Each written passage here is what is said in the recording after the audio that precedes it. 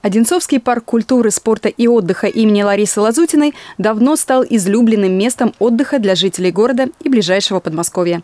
Его считают образцом ведения паркового хозяйства. Все больше и больше людей стремится проводить здесь свое время. Это очень хорошо.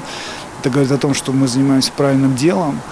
И э, развиваем и природу, и поддерживаем этот уникальный вообще природный, э, природный комплекс э, в Одинцовском районе. Инфраструктура этой зоны отдыха ежегодно пополняется новыми активностями – спортивными и прогулочными маршрутами, что радует гостей парка, но доставляет беспокойство его руководству.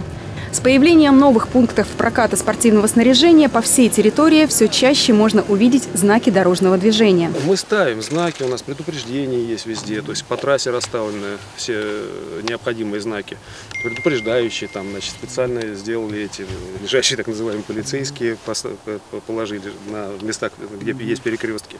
На это внимание очень большое мы обращаем. Депутаты-единороссы посетили парк и ознакомились с планами по его развитию.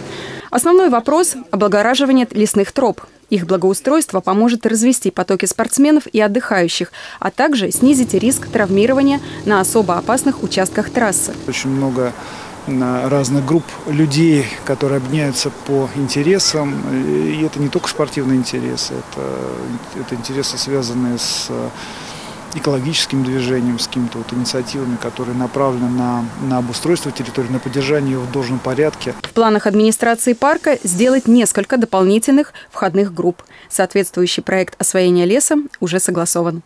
Елена Краева, Артем Ломоносов, телекомпания «Одинцова».